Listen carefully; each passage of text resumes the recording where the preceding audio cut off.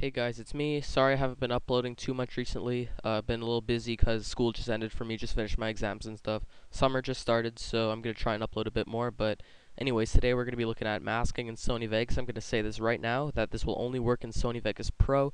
If you have the Movie Studio or Platinum editions, um, this will not work. So to check your version, just go up here to the Help and go to About Vegas, and then it'll show all your details. As you can see, my serial number and machine ID, they're all blurred out.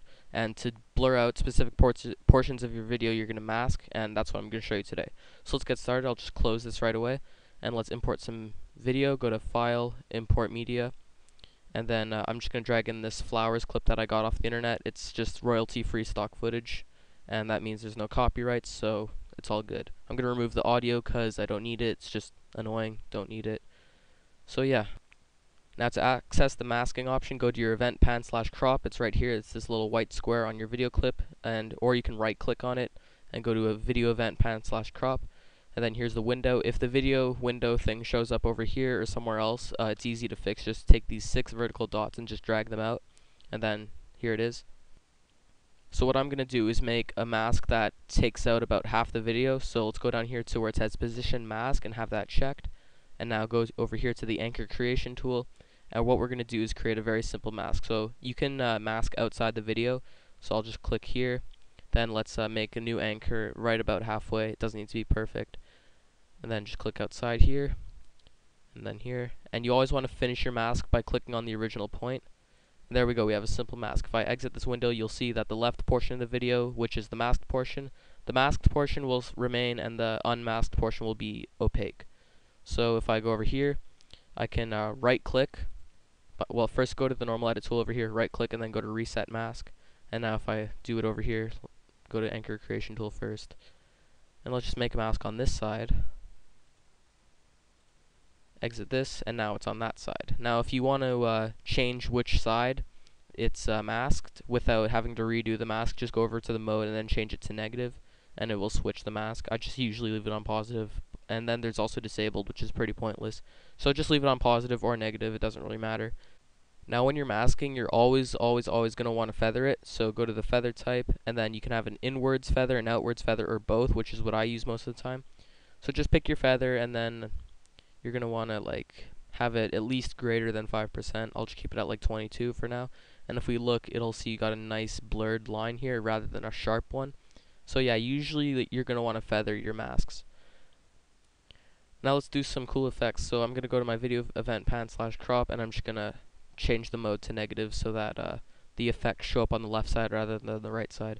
Now what we need to do is bring in our clip and essentially just duplicate the track. What you could do is right click on the track and hit duplicate, but then the mask remains. So what I do is I just, let me remove this first. What I usually do is I just drag in the new clip all over again. And make sure that the unmasked clip is on the bottom and that the masked clip is on the top. Okay, so now if, if we look at it, like there's nothing different, it's it looks totally normal. But what's really happening is the top clip is masked and the bottom clip isn't. And you can't tell right now, but if I drag it in a video effect like infrared, and we put that on here, you'll see that the masked clip is uh, infrared and the right clip isn't. So I'm just going to remove this and let's do something like night. We'll put the night on, and then there you go. You can see that the the left clip is night vision, I guess. It's not really night vision, it's nighttime. And then the right clip is more bright. And as you can see, the line is nice and blurred because we feathered it, but if I remove the feather by going to the feather type, none, you'll see that the line's really hard and that you don't ever want that. You want it to look nice and clean. So that's why you always want to have a feather on. See, if you put on feather inward and then put it like really high, you can see that the feather goes, it goes like inside of the mask. Or actually, it's not really going inside the mask, it's going outside, but you can see the feathers going out right now and if we change it to out, it'll go in the opposite direction, like that. I just keep it on both because it's like nice and simple. You can also keyframe your mask so that it moves over time. This is called rotoscoping. It's pretty advanced. I'll just go over it quickly right now, but I will do a future tutorial on this. So if you don't understand rotoscoping completely by the end of this video, don't worry, I'll have a rotoscoping video out later. Okay, so let's go to our masking over here. And as you can see, we got our keyframes here. Now, if you don't see the keyframes, hang on a sec.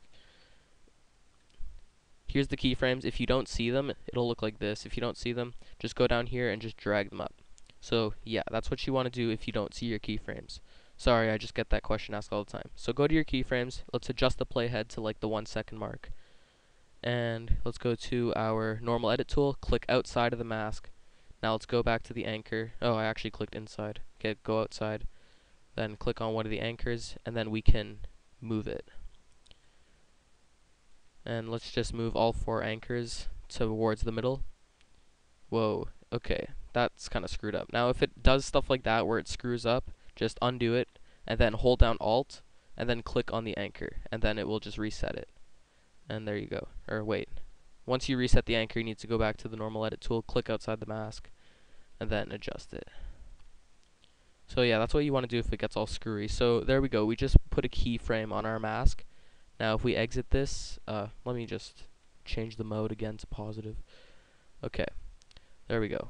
Now, uh, just for the sake of this demonstration, I'm just going to remove the feather so you can really tell what's happening.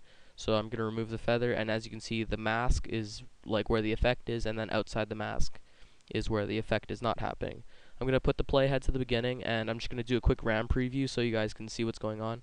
Uh, when you play your video, it's going to probably be really laggy, depending on how good your computer is. So what I do is I go up here to the preview quality and just change it to like draft half. And then it'll be poor quality, but it'll play smoothly. Right now I'm just doing a RAM preview so you can see like what's really going on. If you need to know how to do a RAM preview, just uh, select the video from the loop region over here, and then hit Shift and B.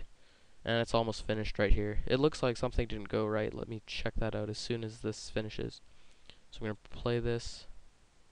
Yeah, as you can see, um, it's all feathered and stuff. It looks good, but as soon as it like really hits, it just goes from here to like really sharp. And that's just because at the end of the keyframe, I switched the mode to positive. If we keep it at negative, you'll tell.